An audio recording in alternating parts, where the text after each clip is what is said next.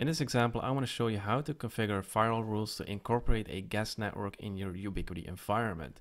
So my edge router is over here. I already configured all of my interfaces. I have the ETH0 interface on the WAN side 2001 with a default gateway going out to my simulated internet here.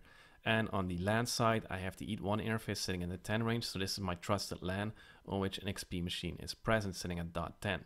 I also have my E2 interface in the 172.16 network, and this is basically my guest network range on which I'm pretending that there's a UniFi access point sitting here, but it's actually just a Xubuntu Linux machine. However, for our purposes, it will work just fine. So with this guest access, we ideally want to limit them to have access to the internet only. So we want them to be, want them to be able to traverse the device and go out to the internet, and we want that traffic being allowed back towards them so they can visit web pages and stuff like that. We also want to limit access to the device for DHCP and DNS only. So we do not want our Wi-Fi clients here. We don't want them to access the management interface like the web page or the, the shell, telnet, SSH, stuff like that. We don't want them to access that. We just want them to get a DHCP address and use our router for DNS services, again, for going out to the internet. So we want to block access for these guests to our LAN ranges. So we don't want them to access our trusted hosts here. However, we do want them to respond to requests from our LAN ranges. So let's say I have a management station sitting on my LAN range here. I uh, and I want to manage these access points or I want to reach these hosts for troubleshooting or something like that. I do want that traffic being allowed to them and I want the return traffic being allowed back. So only if we initiate traffic on this side, we are basically being allowed to the LAN range from the guest uh, network's perspective. So let's get started on the configuration. So I'm going to do most of this stuff in the command line. I have another video that focuses more on using the GUI. So we have our firewall network group with our basic uh, default network ranges 192.168, 172.16, and a 10 range. And we have this guest to LAN uh, firewall policy. Well, actually, it should actually be guest to LAN plus WAN because it will apply to both of those ranges. So we have our default action accept. So if you don't want to use this, then you can create basically two policies, one for guest to LAN and one for uh, guest to WAN. But in this case, this works just fine as well. We have to set rule one for uh, the established state. So that is the one I was talking about that we do want the uh, return traffic to the LAN to be allowed. And the rest we're basically just dropping. So anything that is initiated here, we're linking that to that network group that we define here. So we're blocking, dropping all of that traffic. Then we have our guest to local firewall policy. This one applies to DNS and DHCP. And we have a default action drop here, so we cannot manage the device HTTPS or SSH. However, we do want them to respond to pings from, let's say, the edge router here. And we want DNS services to be allowed to the device, and we want uh, DHCP services allowed to the device. That's why these are destination ports, not source ports. So this established related status in here because we might want to ping hosts from our edge router or we want to telnet or SSH to something else on this uh, Wi-Fi network. And also if we're giving out DHCP addresses, the edge router might ping one of those addresses, see if it's available.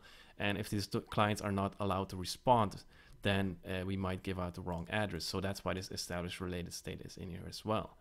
So we have our default WAN to LAN rule. If you want more information about that, I have a bunch of videos about it.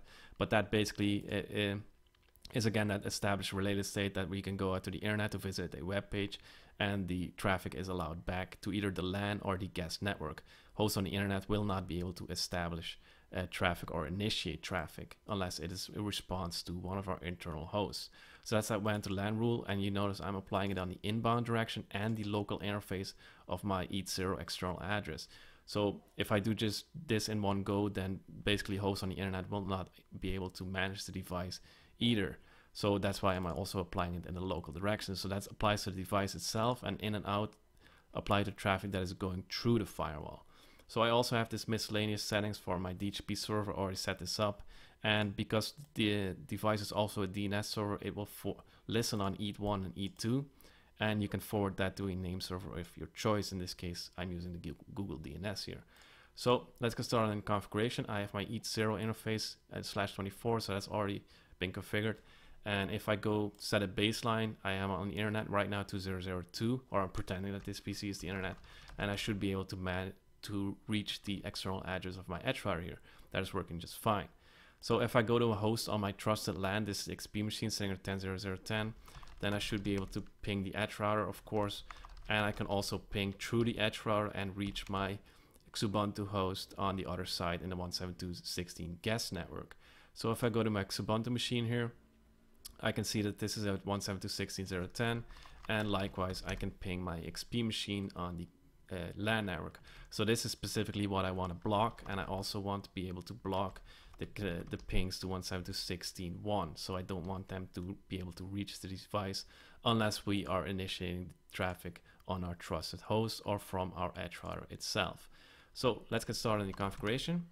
So I'm placing in this firewall group and then pasting in this stuff. So I have to go back to the top every time I do this because I'm using the edits here because it's uh, I don't get that long line so it's easier to fit in the screen. I have my rule here for guest to local. And once that is done applying, I can set my default WAN to LAN rule and the final thing is to apply this to interfaces because if we create firewall rules and don't use them, then they are basically not doing anything unless we apply them somewhere. So I can do a show compare. So here you can see exactly what I'm putting in the configuration. So you might want to pause the screen if you want to read this, all of this. But that is basically the configuration. So if I commit this, this will start working and I will be able to go to my host and get a DHCP address and start um, testing my firewall rules basically. So let me start on my XP host. So let me just say I want to get a DHCP address here because why not? It's set statically right now. So let's do this. And I also want to do that on my Xubuntu host. So let me do a DH client for ETH0. And I should be able to get a DHCP address on this interface, hopefully, after if everything's working just fine. So let me open up a browser here as well and let me check my firewall rules. So I wanted, I like doing this from the browser because it gives me a clear oversight and I can see exactly all of the packets that arrive on these uh, interfaces. So I go to firewall net, firewall policies, and let me start with the, let's, let's start with the WAN to LAN policy. So you can see here, I applied it to these interfaces or yeah, my WAN interface and my stats here I can see that my default action is dropping something. So let's try that ping again. So this was working before, however now we can see that our counter is going up. So it is established related state. If we go to my edge router and let me run a ping to 2002, that is being allowed now because that is initiated from the edge router itself. And here we can see that we get some hits on this rule. So that is working just fine. So let me do my guest to local rule next.